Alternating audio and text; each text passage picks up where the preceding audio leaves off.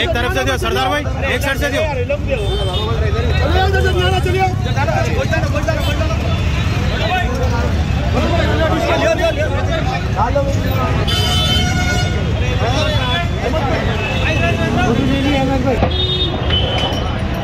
वालेकुम तमाम हजरात से गुजारिश है कल जो खातिलाना हम, हमला किया गया है हमारे सदर साहब के से उसी इसी उनवान की वजह से खाने का इंतज़ाम करें।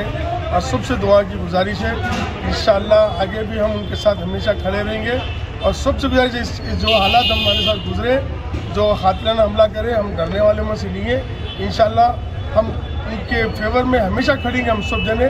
हमारे साथियाँ, हमारे मजहर भाई, सरदार भाई, अफसर भाई, सारे लोगों लोगों की कोशिश है कि आपसे दुआ की गुजारिश करें और आप और आने वाले हालात के भी इंशाल्लाह दुआ करिए कि ऐसे हालात कभी ना आए।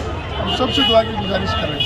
रहमतुल्लाह बरकातो कल कल जो बुजदिलाना हरकत करे हैं यूपी में, अली जनाब बैरिस्टर असदुद्दीन साहब के ऊपर, ये ये बुजदिलाना हरकत करने की वजह से हम लोग असदुद्दीन अवैसी साहब, या मंजलिस मुस्लिमीन डर जाएँगी, ऐसा हरगिज नहीं होगा इन ताला।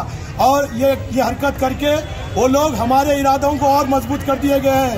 इन ताला, यूपी में हम इन ताला, ज़्यादा से ज़्यादा मेजोरिटी पे जीत कर आएँगे और ऐसे ऐसे बुजदिलाना हरकत करने वालों को ज़्यादा से ज़्यादा सजा देना हम गवर्नमेंट, सेंट्रल गवर्नमेंट और यूपी गवर्नमेंट से किसी सबसे गुजारिश की जाती है कि ये जो बुजीना हरकत बुजीराना हरकत करे हैं, उसके ऊपर ज़रूर एक्शन ले और खातियों को ज़रूर सजा से अच्छी से अच्छी सजा दे।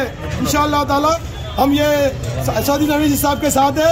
मंजली से इतिहादुल मुस्लिमीन जिंदाबाद।